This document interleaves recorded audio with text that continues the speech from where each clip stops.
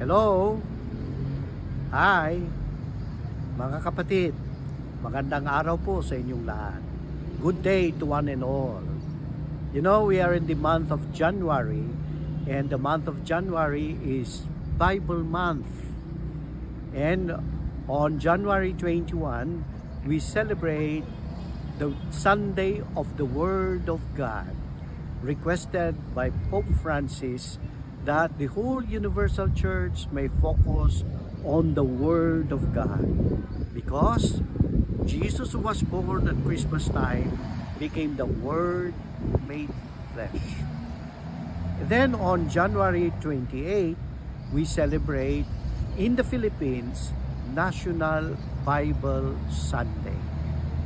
Kaya ito buwan ng Enero mga kapatid, the beginning of a new year, the church and even civil society invites us to consider the beauty, the wonder of the Word of God. During this year, the theme that the we have adopted in the Biblical Apostolate is the Word of God, the source of new life. Bagong buhay. It's a very nice thing because it encourages, encourages and invites us all to center renewal in our in our lives as Christians by focusing on the Word of God, the source of all wisdom, the Word of God, which is in the as the book of Psalms tells us, the Word is a light unto our feet and a, and a and a uh, and a light unto our path. So let us look into the Word of God to guide us in our day-to-day -day life.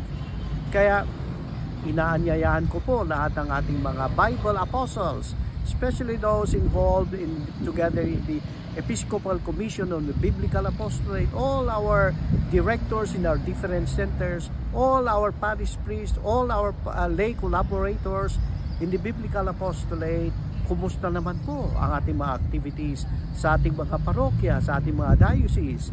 Um, meron ba tayong mga programs? I know you're all very busy, but I hope and pray that you have included biblical apost apostolates, biblical activities where our people begin to see the value and the beauty of the Word of God. Kaya po, I inviting all of you to remember this Bible month This is Bishop Rene Mayugba, Chairman of the Episcopal Commission on Biblical Apostolate, inviting you to love the Word of God, to make the Word of God the source of new life. And I now give you my blessing in the name of the Father, and of the Son, and of the Holy Spirit. Amen. Amen.